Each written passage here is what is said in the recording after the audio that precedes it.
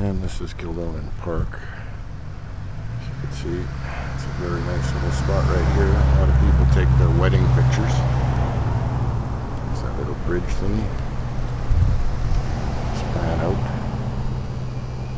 It's that whole area. Just beautiful. And we'll get more.